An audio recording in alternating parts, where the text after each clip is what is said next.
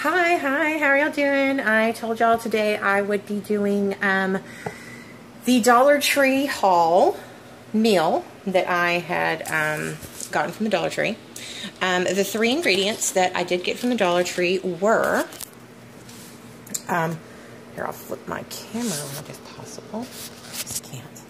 Okay, so I got the um, chicken broth from the Dollar Tree, and it is a full 32 ounces. I got these wonderful gnocchis. And I got a Pictsweet spinach that um, I did not show you in my Dollar Tree because it was in the freezer, but it is a, see if I can find, it has three and a half servings and it's a cup per serving. So there's about three and a half cups of spinach in there. So that's a pretty good value. Um, spinach is an expensive product in the grocery stores. So I'm going to do a spinach chicken gnocchi soup for dinner tonight for me and my roommate. Um, I have a difficulty cooking for one person. Two people's a little bit easier. I will still probably have leftovers. Um, the three ingredients that I got from the Dollar Tree obviously were $3. So I will be using the broth, the gnocchi, and the spinach. I also have um, some, because I cook a lot, I have some organic thyme that was left from another meal and some organic dill. I do tend to have herbs in my fridge all the time. I also, um, turn it around here so you can see the pot. I have started um, a little bit of garlic, the herbs, potatoes, and onions on a simmer to just kind of break those down a little bit. And then once they have broke down a little bit, I will add the chicken stock. And um, I have some wonderful organic carrot chips. Now, I like these because obviously I have braces. And biting into carrots and stuff can be difficult. You knock your brackets off. Um, these are like little kind of ridge chip carrots. And I'm going to throw those in um, probably close to the end of cooking so that we can um, get them cooked but not mushy. I want mine to have still like, it still tastes like a kind of a raw carrot. Um, other than that, we are going to get started cooking. So like I said, I've already put um, kind of the onions and potatoes, the items that are going to take more time to cook, into the pot. And I've got them in there with a little bit of olive oil, garlic, and there is no salt and pepper at this point. Um, the stock itself does have sodium, so I do not want to over um, do the salt content. Um, my roommate is salt sensitive, and, um, and it's just a good idea not to cook with a whole lot of it. Um, it's good for your health, it's good for your body, it's good for your heart. Um, so, I've already got all that chopped up. So I'm going to put it on pause here. And when I get to the next stage of adding broth and um, adding the chicken, oh, I also have some leftover chicken from another meal this week. So um, that's no, another no-cost item. The potatoes, the herbs, the onions are all items that I keep in the fridge. They're regular um, refrigerator staples. But if I had to put a cost on them, um, I use two red potatoes. So we're talking maybe a buck or two. I used one small yellow onion, and I used two sprigs of tarragon and a small sprig of dill. So pennies. It's just literally pennies. Um, a splash of olive oil to make sure this everything doesn't stick to my pan, and a teaspoon of minced garlic, and we're well on our way to a nice um, chicken gnocchi soup tonight. So I'm going to pause it out and wait for this stuff to cook down a little bit, and I'll come back to you. Okay, I am back. I wanted to get to this before the potato starches started sticking um, the before the potato starch has started sticking the um, small diced potatoes that I put in there to the bottom of the pan. Um, even with olive oil, starches of potato will tend to stick on the bottom. And um, I put a little bit of potato in this recipe this time. Normally I don't put um, potato in this one, but my roommate is a guy, and I make it just a little bit creamier and a little bit healthier or heartier that way by adding a little bit more potato for it for him. Um, let me bring you over here. I've got my leftover roasted chicken, um, and I've just taken it. See if I can get it in the shot there. Um, it's I actually saved it a couple nights ago from the dinner that we had, um, and I pulled it off. It's probably roughly about a cup and a half, two cups chicken, and I diced it up. Um, it was a really nice chicken roasted with some rosemary and garlic.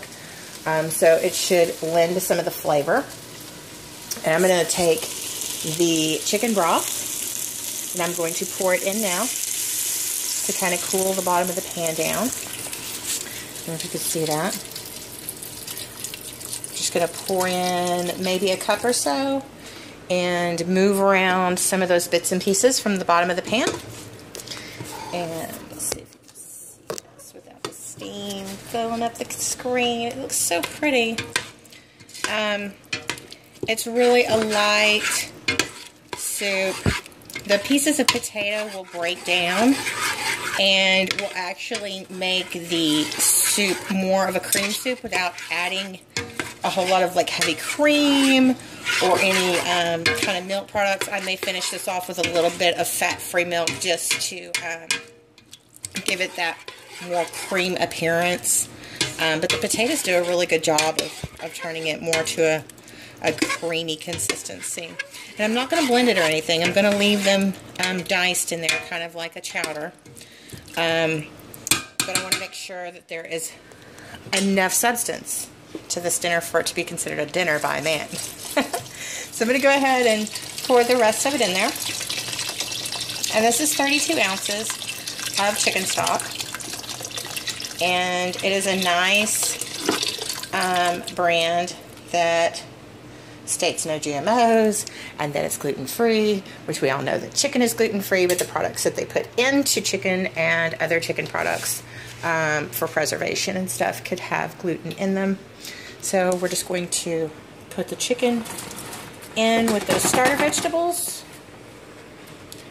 And I'm going to add a tiny bit of water um, only because I want this to have a nice amount of liquid because I'm going to let it simmer for about maybe about an really doesn't need to cook more than 30 minutes. I'm going to let it simmer for about an hour. Um, I've got probably an hour and a half before my roommate gets home. So I want it to have time to really develop the flavors from the um, vegetables. So the, the celery and the the onion and everything kind of get into that chicken broth. Because even though store-bought chicken broth allegedly has vegetables in it, we don't know exactly the process of it. Then I'm going to take like a handful of these carrot chips. And I just love the size that they are already. I think they're real like kind of hearty and they'll break down a little bit and become softer and you'll be able to cut them with a spoon um, but they'll be able to maintain that um, carrot, like fresh carrot taste. I'm going to do another small handful of those in there. Um, you can get real creative with this. It can kind of morph into like a chicken pot pie if you wanted to go that route with the um, vegetables. You could leave out the potatoes. Um, you could um, add peas. You can kind of, whatever's in your kitchen really goes with chicken and gnocchi. I mean, you can't go wrong. Um, and then at the end, when I finish it off, I will be adding the spinach. The gnocchi I will cook separately because I don't want it to overcook and become soggy. So I'll end up cooking it um, separately.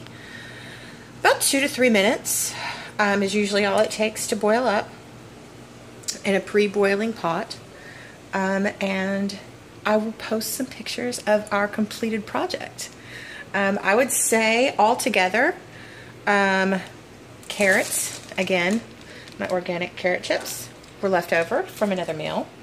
Celery um, was left over from another meal. Organic herbs and spices, all left over from another meal. So if you think about the costs when you're breaking it down and using them in uh, multiple meal settings, your cost is just so low. So the actual purchased items cost me three bucks.